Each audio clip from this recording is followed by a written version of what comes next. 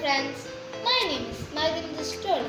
Today I am going to introduce a simple experiment with turmeric powder. Things we need water, half of a lemon, turmeric powder, and some detergent powder. We can use a spoon or stick to mix. Okay, now take a glass and pour some water into this. Add some turmeric powder.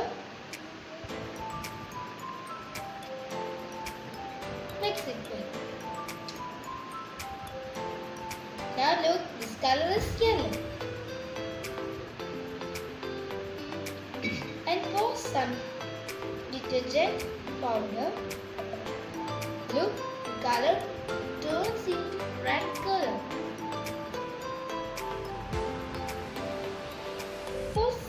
lemon juice.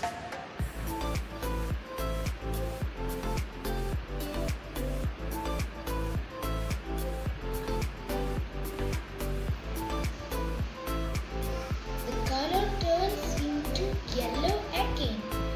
Turmeric is a natural indicator. Turmeric solution turns reddish brown with base. Turmeric does not change color with us.